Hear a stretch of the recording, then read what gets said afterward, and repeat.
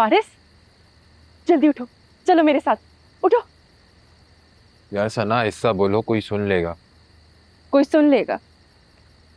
लो। अब तो मैंने तुम्हारा बाजू पकड़ लिया। रोक के दिखाओ। अरे क्या करती हो? कोई देख लेगा अब छोड़ो हाथ छोड़ो सना मैं तुम्हारी भलाई के लिए कह रहा हूँ। अभी निमरत से बहुत काम निकलवाने समझा करो बात। अभी तो बड़ा काम ये कि तुम अपनी खटारा सी गाड़ी निकालो। और मुझे कुछ खिला के लेकर आओ। तुम्हारी नौकरानी ने जो खाना बनाया ना वो मुझे बिल्कुल पसंद नहीं आया। वो गाड़ी तो अब्बा कराची लेकर गए मैं लो कितनी मुसीबतें हैं फारिस। बाइक निकाल लो बहाने क्यों बना रहे हो? आना ज़रूरी है क्या? हाँ बहुत ज़रूर। अच्छा भाई तुम्हारा हुक्म कैसे टाल सकता हूँ?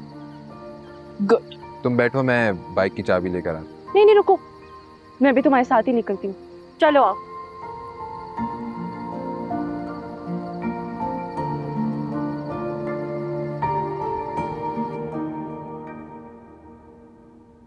पारिस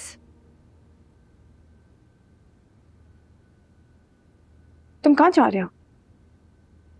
वो दरअसल मैं सना को डिनर करने जा रहे हैं भाई घर में खाना अच्छा नहीं बना तो बस इसलिए।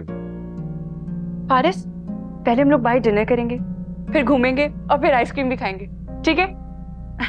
चलो अब मैं तुम्हारे भाई इंतज़ार कर रही हूँ। ज़्यादा वेट ना करवाओ। सारे रेस्टोरेंट्स बंद हो जाएँगे। मेहमान है ख्याल रखना तो फ़र्ज़ बनता है ना।